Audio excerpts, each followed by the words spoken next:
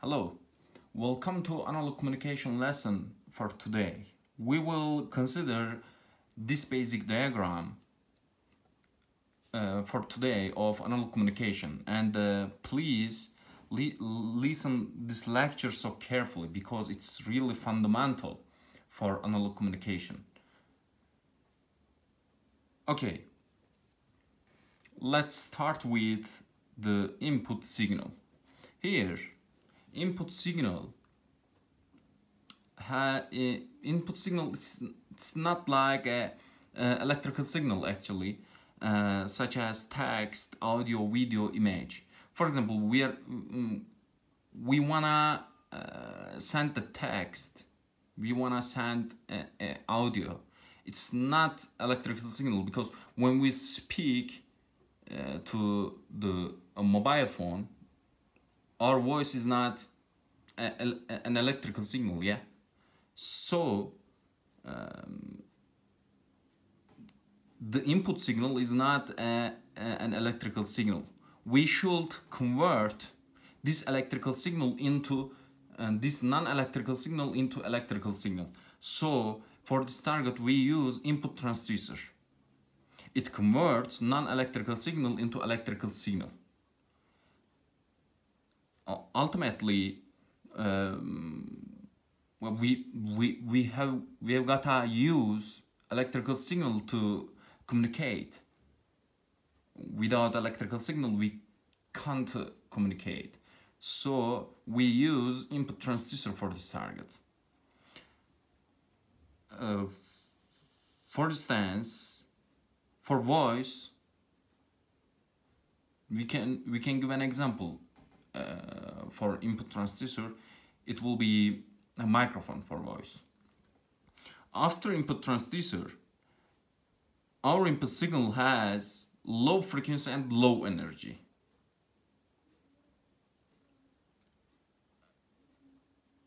To make the input signal strong, we use transmitter block.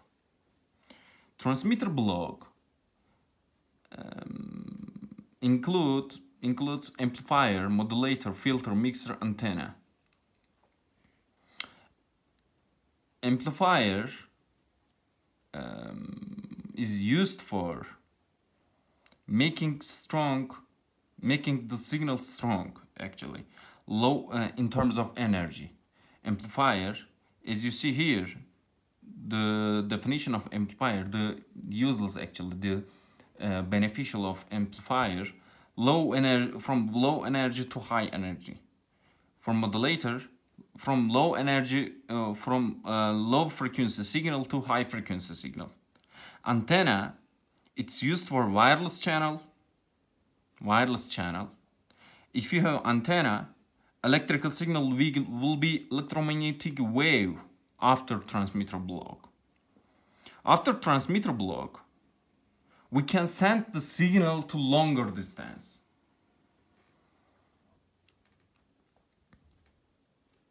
Actually, it's the target of communication.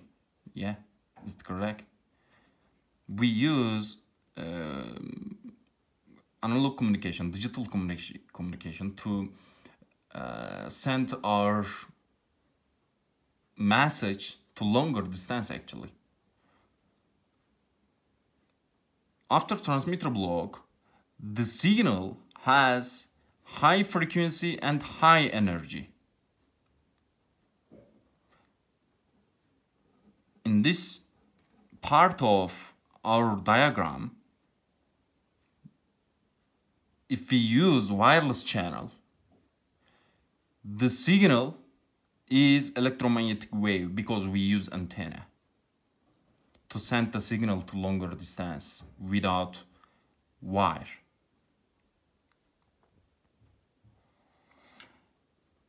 Actually,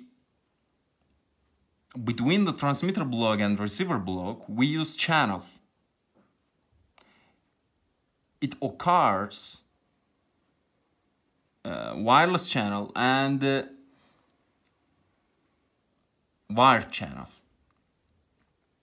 Of course, during this period, um, noise and distortion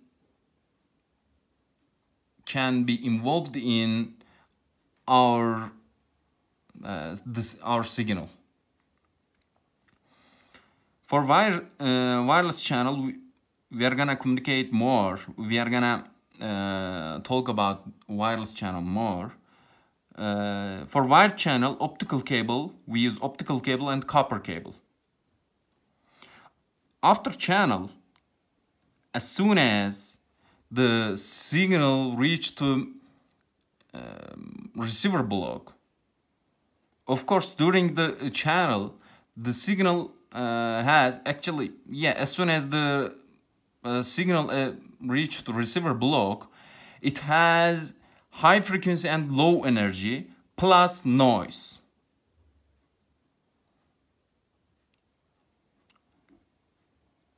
Here, if we use wireless channel, we should use in receiver block antenna, of course.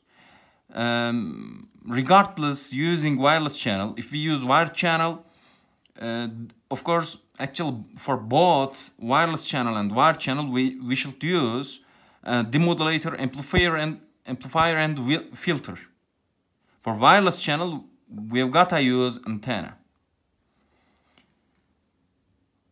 To make the uh, to make the signal uh, low frequency, to make the signal again high energy. Because we can't investigate the signal if it has high frequency. We should, we should make it low frequency and high energy. But it's still electrical signal. Our signal is still electrical signal after receiver block. But if we get, for example, if the customer wants to get the signal wants to get the message. Um, she can't investigate the signal, yeah, electric signal. We should we should transmit it. Uh, we should convert it non-electrical signal, of course, such as text, audio, video, image. So for the circuit, we use output transducer. It converts electrical signal into non-electrical signal. For example, speaker. And uh, we get output signal finally. Here is the basic diagram of analog communication and it's really so important for investigation of analog communication. Uh, after this lecture, we are gonna we are gonna consider about so many things of uh, analog communication, uh, but you should um, you should find it on your uh, background of your brain while we are getting the um, education about analog communication please. Uh, thanks for your uh, thanks for your watching this video. Um, Let's see you. Have a nice day